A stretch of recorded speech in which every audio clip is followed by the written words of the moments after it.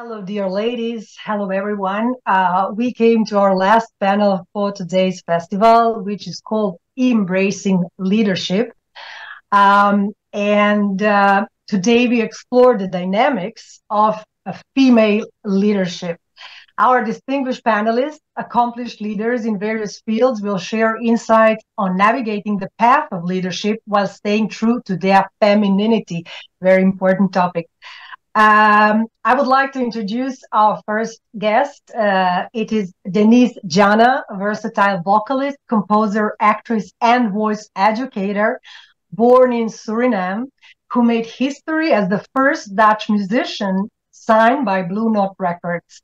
Uh, with a law degree from Utrecht University, her passion for music led her to Hilversum Conservatory, Denise's contralto has resonated in 31 countries, performing across genres from jazz to gospel, R&B, Latin, and Surinamese music. Decorated with awards, including two Edisons, she portrayed Ella Fitzgerald in Ella and continues her tribute to Mahalia Jackson. Welcome, Denise. Welcome to our festival. we don't hear you very well, so I hope we will, uh, yeah, you just need to press a button to hear you. You hear me now? Yes, perfect. Welcome, Denise. you didn't unmute. I apologize. Hi. Our second, hi. Our second guest is Aysim Deveci, an entrepreneurial force, leadership coach, and advocate for diversity, holds certificates in NLP, life coaching, and fitness and yoga. With a rich background spanning fitness, yoga, dance, spirituality, and meditation, Aysim has excelled in sectors like world music, festivals, corporate events, and project management. Her collaborations extended uh, globally, involving international speakers, authors, artists, governments, corporations, educational institutions, business centers, and NGOs. Aysim's journey from Dutch law studies to successful, to successful corporate career transformed through meditation, yoga, fitness, and Sufism. As the founder of initiatives like, like Colorful uh, Full Sisterhood, Colorful Business, and Colorful Academy, she champions inclusivity and personal growth within diverse communities. Welcome, Aysim. Wonderful to have you here we don't hear Aysim as well. So maybe to press the button. Yeah. Uh, okay. Uh, not hear you uh, very well. Um, please check. Yes. Say something. We don't hear you. Um, Denise? Yes, you hear me? You are. We, we can hear you. Okay, I'm I think I think I now. Okay. Yeah, perfect. Yeah, welcome. Yeah, now I hear you. Oof. Our third guest is Ailya Khan, the strategy lead and Pakistan country coordinator for uh, Animal Alliance Asia. In addition to working for AAA, Ailya is a grassroots vegan advocate working on peer-to-peer engagement to increase awareness and, uh, of speciesism and veganism in Pakistan. Ailya is also the founder of Gas Foods Plant Based Foods, Pakistan's first fully vegan owned and run startup. She advocates for collective liberation and has been part of other social justice causes. She was the COO at the uh, media startup and has led a managed multiple projects. Ailya has been fostering, rehoming, and feeding stray animals as an independent rescuer for over eight years. Ailya, are you with us? Hello.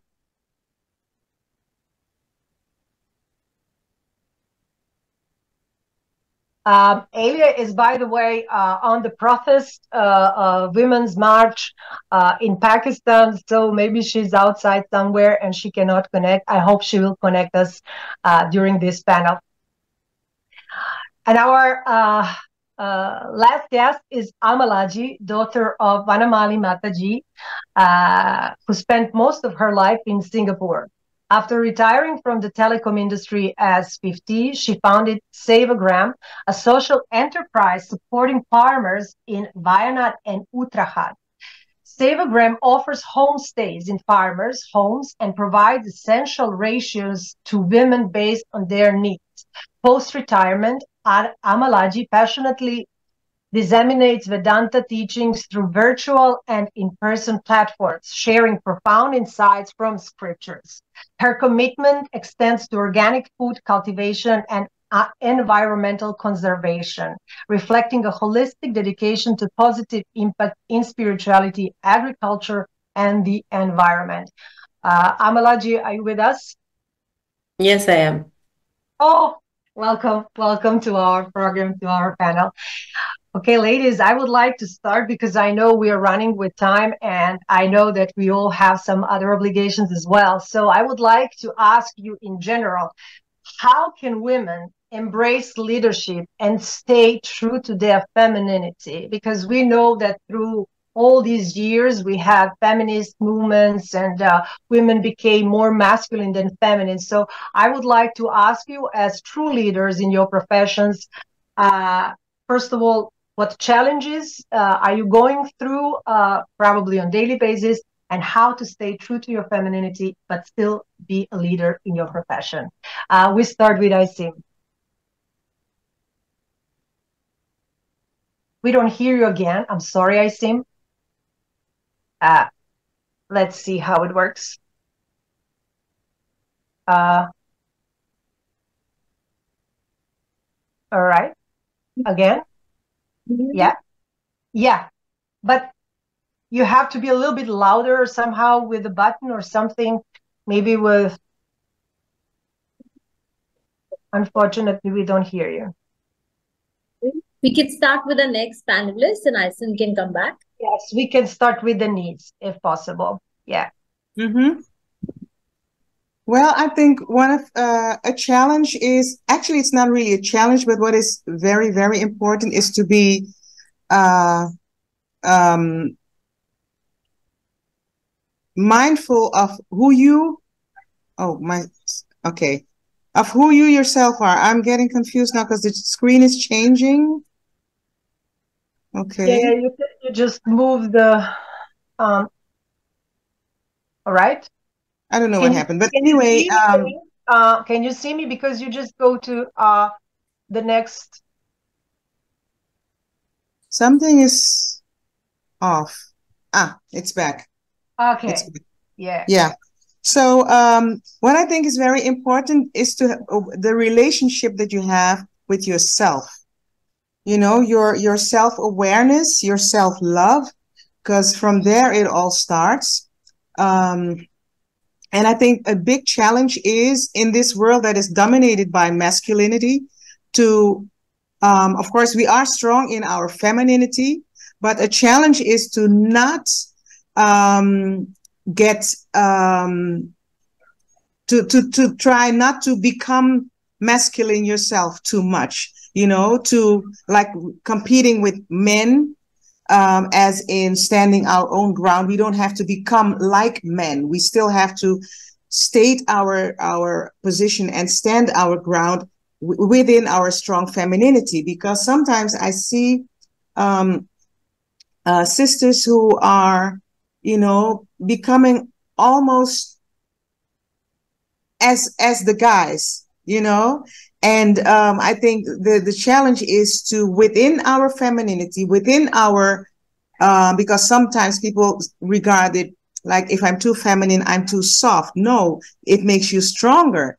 But it's the awareness that we have of our femininity, you know, that will keep us strong, that will keep us, you know, moving forward to stand our ground, to know what we want, to really, really know who we are, and to be clear about what we want. You know, we don't have to be too subdued and, you know, too sweet and all that. That is not the femininity I mean. It's the strength of the femininity that is of us as women, you know, that we stand our ground, that we say, we, we make clear who we are, where we are going, and what we want to achieve, and what we expect from others around us, and also what we can give them, you know?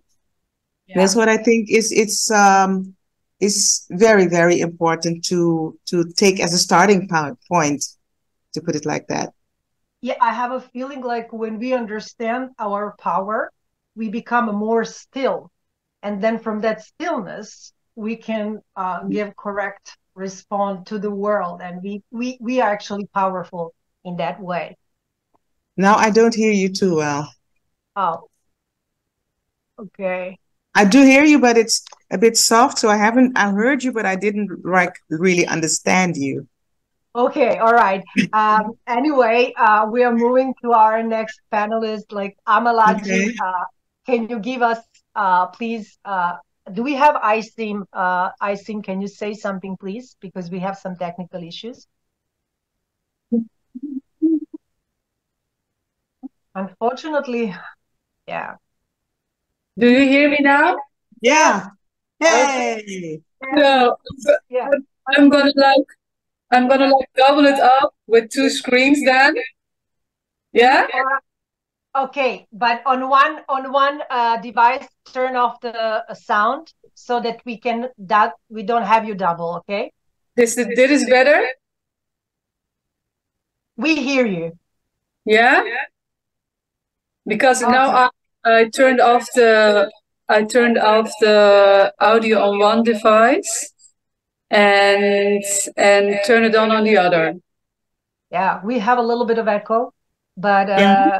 it's better to Well, hear I'm so you. sorry. I, I just don't know Please what- go ahead, Aysim.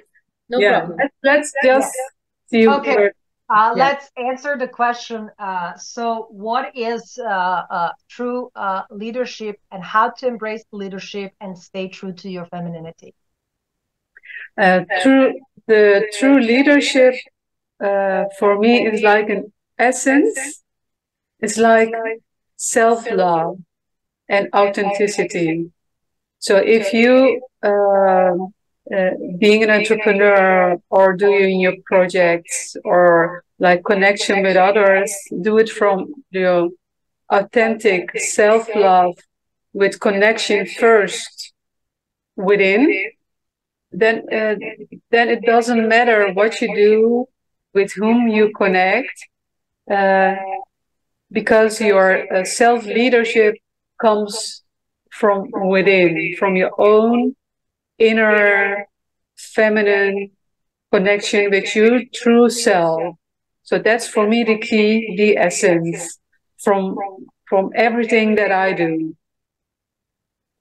Thank you. that was short but because of the audio i'm just keeping it simple and short Um, Amalaji, uh, what do you have to say on this topic? How leadership and true femininity can com- be combined together? I'm not sure what you mean by true femininity, to be honest. Uh, what is our true power? What, where the women are standing and where the women are coming from? Uh, and how can we be leaders and not to uh, be overwhelmed by masculine energy to balance our feminine and masculine energy, actually to be more in the feminine energy? Okay. Um, so when I was working in the uh, in a corporate world, um, I think I was blessed because my industry was not so. Um, I never felt any difference in uh, the masculine or feminine energy. I was a woman. I had some roles as a woman, which I had to fulfill based on my having children and having a house, which I had to run.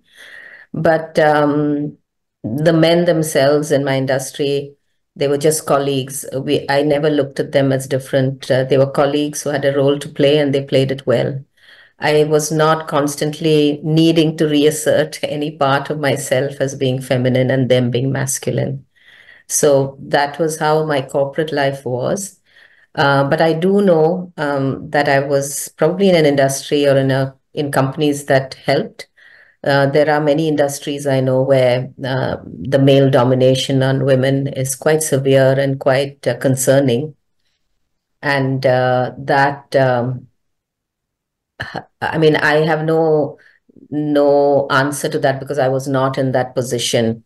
but generally, of course, there is uh, a lot of, especially in India. I I worked mostly in Singapore, but um, whenever my work brought me to India, uh, I think uh, it was tougher in India because though uh, a lot of Asian communities, um, like the Korean communities or the Japanese or the to some extent uh, Chinese, also tend to um, not want women in leadership roles. Uh, uh, but I found that they fell in line with respecting women in leadership roles.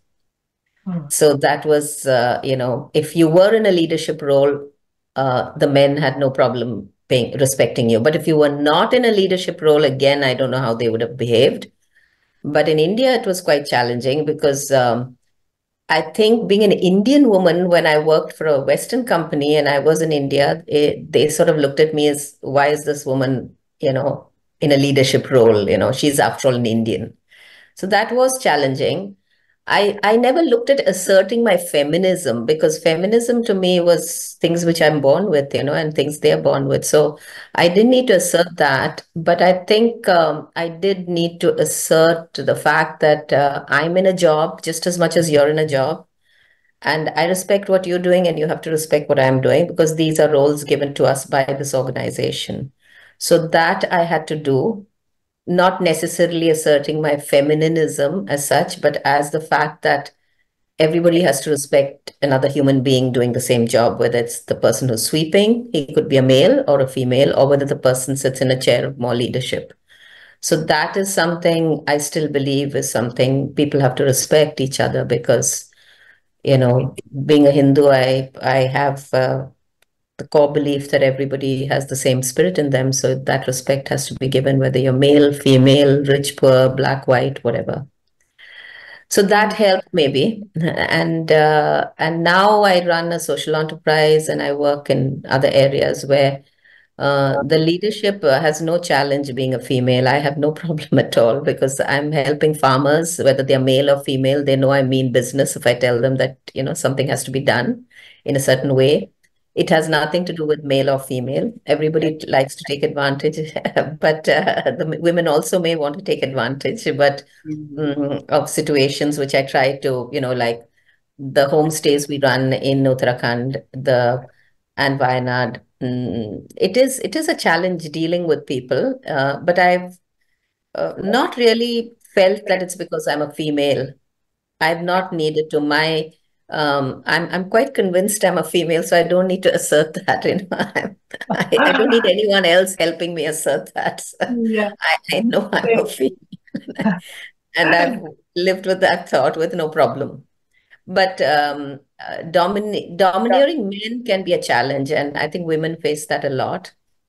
Yes, I think we all experience that a lot, and uh, I would like to ask uh, uh Ailya as well if if she's uh, capable to answer us this question um, leadership and true femininity and how's the situation in pakistan and what kind of challenges she has going through uh, such things. So Ailya, are you with us? Yeah. Uh, we don't see.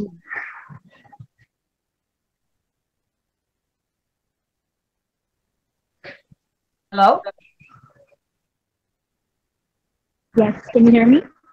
Yes, we can hear, but we cannot see you. Uh,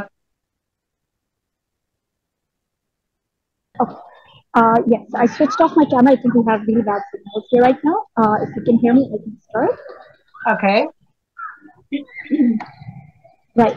So uh, thank you so much for having me on this panel. Uh, first of all, um, going to the topic of leadership, I truly believe that we are all leaders and that is our power. When we wake up in the morning and we make a decision uh, to be it any decision, be it looking after ourselves, being, uh, you know, the decision making is key when it comes to leadership. So it isn't defined by any parameter that who is, you know, a leader in itself. Okay. Uh, yes, thank you. We we have a little bit of problems to hear because we have some voices mixes up with yours. Uh, but we are continuing with the topic, uh, and I would like to ask Aysim, um, as the founder of various vibrant and colorful initiatives for women, how has leadership entered your life? Uh, where was the point, uh, crucial point, where you decided that you are the leadership, and uh, yeah, yeah, how that transformed you? Um, I hope I, I, you hear me well. Um, the, oh my God. No, I, I, I think uh, if you can turn off your phone or your computer, that would be okay. Wait, you are you are going out now from your computer, yeah? Um, Okay. Yeah. Uh, we don't hear you. Oh, unfortunately. It's You need to really- unmute yourself, Aysim, yeah, and be on one device. unmute yourself on the computer, please. We don't hear you, unfortunately. I think it's best to be just on one device and unmute yourself on that one device. We have Ailya now for the next uh, session. Ailya, are you there? I would Yes, if you actually like to ask, me. I would like to ask Denise, uh, Denise uh, one question. Uh, like leading your life in a very authentic way with so much of passion and compassion, was there ever a challenge in taking leadership over your own life to do what you really wanted? You're getting softer and how- softer. I can't really hear you. So you cannot hear me. I hear you better now. Hello? Yes. Can you hear me now? Yeah. Okay. No, you were just, the Uh, sound was fading. So it's a question about leadership, but then, Yeah, because uh, I just wanted to ask you, uh, like leading your life in a very authentic way and with so much of passion and compassion. And was there ever a challenge in taking leadership over your own life to do what you really wanted? And how did you manage to take the charge? Uh, as a woman, as a woman of color, I would say. Uh, so, so many obstacles, and I would like to hear more on that. you know, for a long time, I was very insecure. I would always, um, I mean, I was, I was, I knew what I wanted and I knew that I, for instance, loved music and everything, but I would start being on the stage apologizing in case something would not go right because I was having troubles with my, my throat and this and that. And I always had that, but that came from my insecurity. You know, there was one day that I realized, like, Denise, you're doing this to yourself. You're doing this yourself. So I had to learn to trust more, to trust myself. I had to look into the mirror, and look in the mirror and say to myself, Denise, you are okay. You can do this. And you have received this. You're blessed with a huge talent. You can do whatever you want to do.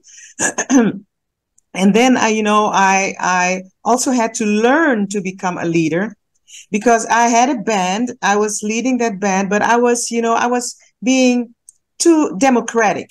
You know, like Mhm. yeah, we can all sit and decide what we're going to do together. And and then I realized one day, like, you know, the guys, because I was, you know, there were guys and me, but they were waiting for me to to take decisions and stuff. And I was like, no, you know, we all can, you know, we can uh, talk together. And then one day I realized, no, Denise, you have to step up and be a leader. You are the band leader, you know, in this case. And also in other aspects of my life, I had to learn to be to be fearless, not only in my head, but also to have the courage to be fearless and to be straight and straightforward and direct in what I wanted. And also to listen to others how they wanted it because I can be very impatient because in my mind, you know, I can go real fast and this and this and this and this and this. And then sometimes I disregard, um, no, not disregard, but sometimes I didn't pay too much attention.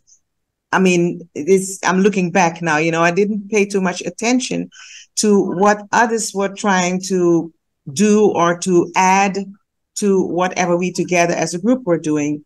So I had to learn to be a leader and also to to step up to the plate and you know um, um, respond to expectations that were expe- Yeah. you know things were expected from me which i didn't realize at first because i was i was too much of a nice sweet girl you know? And then i'm in a business that is male dominated but at some point because i also had to deal with um men looking at me like you know like i was a groupie not like a full-time musician or composer. I was just one wanting to hang out with the guys. And then it was like no wait a minute this is me and now you have to listen to me. And this is how i want things done you know? And you have to be tactful and everything but you have to be straightforward and clear in what you want. So that's when i started to develop to become a leader a real leader. And also it it it helped when i started to love myself more. You know it always comes down to the self love the self awareness right? I learned to I, I i discovered how much stronger i was when i could just you know stand firm. And also even in in weaker moments like when you're not feeling well or you're having your period you're sad or somebody has died you're not you're sick whatever you know then you can still say you know what? This is me right now. This is how what i have what i have to deal with and it's going to be okay. I'm going to be okay. And you know that happens that then happens you're going to be okay once you believe that whatever is happening with you at that particular moment, you just take it with you. I don't have to pretend like nothing is happening. You know, I just take it with me. I put it in whatever I'm doing. And at some point, I start feeling better like, hey, okay, yeah, my headache is gone. You know, right now, oh, I feel so much stronger. And then I also am aware of energy that I receive from people that I work with you know the energy around you. Be aware of what is around you and that it's also feeding you. You are giving but you are receiving so much. And to be aware of that also is very very helpful and and and boldening and empowering. Very much. Thank you, thank you, Denise. I think that our powerful is uh, power is also in the uh, in in the awareness of uh, um, that we uh, not the uh, the ownership that we have and that ownership we have to let go. The acceptance has to happen and then we can and also the responsibility. We have to accept the fact that we are responsible for us. Yes. That's, uh, that's yes. the point. Yeah. Absolutely. So, yeah. Aysim uh, are we okay with the microphone? Can we i hope oh. so. Do you hear me Yes, yes, yes, we can finally. Yes, yeah, we can hear you. I, I looked up, yeah, and I looked in into another device. So um, okay, I'm grateful. I'm grateful. Yeah. So, so um, question, you know the question. I said, like, as the founder of various vibrant and colorful initiatives for women, how has leadership entered your life? Well, it entered me like uh, quite uh, early in my life, and uh, it's like um, of course, I'm uh, I'm a Turkish woman and a Muslim woman living in Europe, uh, family in Turkey. So it was always like the leadership was like something necessary for me because if I had to get things done in my life, in my culture, in my family, in relationship, I had to just step up because uh, I saw around me no one was stepping out. So first it begins like the typical migrant uh, uh, uh, women living in Europe.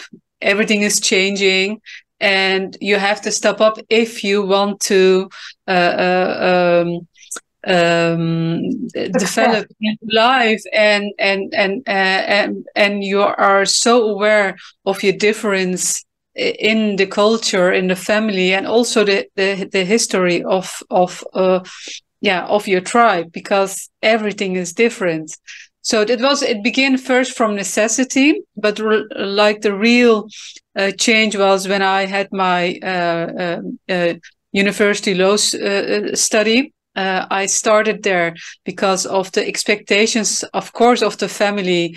You are smart, so you're going to do, you have to be a doctor or you have to be a lawyer. So that's like the expectations of the family.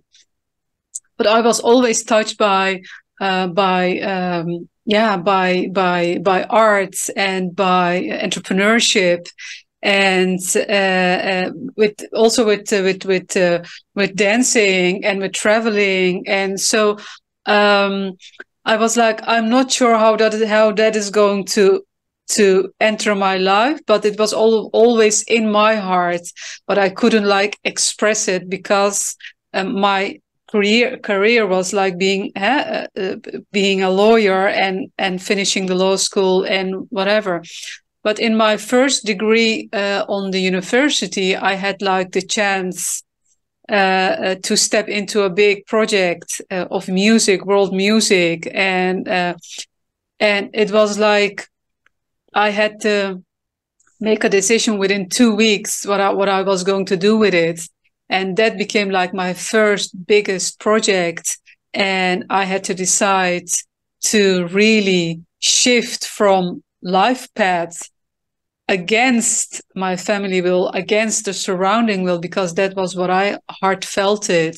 So, so that was for me the start of the world uh, music festivals and projects, and I started my yeah my first project with a big stadium uh, concert with almost 40,000 people with wow. and I had to like work 24/7 to realize that it was like I'm deciding it from within, from my heart, because my whole being, my my whole uh, uh, soul voice was was calling me to that path. So I really like uh, had an internal um, life changing like moment, and I had to act on it because it was not something passive. I really had to act uh, on it. So I like pause my study for like uh, six months to a year and like i'm gonna do this and this is the path i i'm calling to and uh, so it was like uh, like the first uh, my first university year and from that it was like the one decision to another decision to another decision uh, falling and standing up and repacking your life path again it was always from um, really awareness of I have to make a decision where I'm gonna where I'm where I'm going to, what is my life path. I'm not sure what what what uh, what will be like my end goal, but this is the this is the the the the the richting. This is like the direction. Uh, direction. Yeah, direction this is like the direction i see for myself and so even i don't know like the, don't know the outcome of that choosing of this life path i am backing myself up on the decision i am taking no matter no matter the outcome will be and uh, so it was for me always personal uh, with all risk uh, uh, yeah, quite a surrounding that was not always supporting. Um, but maybe that was like uh, helping me in the end to become more self-aware from from the force within that uh, uh this was what I wanted. So uh, if I was in connected with myself, with my heart, uh, with my heart leadership, it, it doesn't matter what the outcome will be. So I'm I have peace uh, on my path. So yeah, that was in a short note. Uh, uh, that it, it began for me very early, from from cultural point of view, from like a feminine point of view, and um, but it was always uh, for me. It was like when I when when I uh, really consciously took a decision for my for my self leadership and sometimes i couldn't like logical explain it for, for me but for, for me the the the check was always do i feel all right after i have taken this decision mm-hmm. and one and one when the the body brilliance that is like going through us divinely as as as female as human when i get like the uh the the the um uh, yeah the conscious energy back that I was really feeling good about this. Well, that was my that was my uh, first check, and the rest I will figure it out. So amazing. Amazing. What I realized usually those who are uh, putting us aside and telling us don't, don't, they're projecting their fears on us. Uh, sometimes rightly, sometimes not rightly, like our parents. Yeah, but uh, we have to follow our heart and our intuition. And both of you, Denise and uh, Aysim, uh, I know you have to go now. Uh, um, if you can stay, uh, please stay for more questions. Uh, I'm very grateful and thankful that you share with us your uh, stories because they're very inspirational. Um, and um, uh, I hope we will in the future talk more. Uh, I would like to just uh, ask one more question, our dear Ailya and um, Amalaji. Um, Ailya, can you hear me? Yes, yes. If you can. Okay. Uh, so, being a vegan activist, you have made waves of change in traditional food eating habits in a country like Pakistan. Uh, so, I'm very interested to hear uh, what challenges did you face and uh, what would your suggestion be to others to stick to their convictions? Thank you so much. So first of all, excuse me for the noise. I'm at the protest right now, so I'm trying my best to communicate with everyone. Uh, yes. So being uh, when I started off on the journey of being an activist, it was very challenging because we see some similar patterns like you know uh, you are a woman and then you're a woman from an ethnic minority i'm yes. By ethnicity and that becomes uh, problematic uh, you know people don't take you seriously but one thing that i have um, realized over time that i stopped asserting myself and I started building more connections. You know, I stopped fighting that war that I need to be as assertive, uh, you know, as maybe my male counterpart on ground. Now I am more uh, focusing on building connections, which takes years, but that uh, the fruit that it gives you, the trust and ro- loyalty that uh, you know you gain from people over time I think that is something that I hold very dear in my activism. Um, and I'm very happy that I have very, very good friends who support me a lot through all of this as well. So I, I, I couldn't have done this alone. Thank you, Ailya. I think that that, that is very important, uh, wonderful insights. So uh, for the end, I would like to just uh, ask um, Amalaji, how important is to have compassion and leadership? I think if you're a leader, that's an important thing to have. It's um, almost uh, something that some often used to be missing, and uh, because the world has become very different, as we hear from the different speakers, also, it's not easy to be out there. Um, the challenges for people entering the workforce are a lot.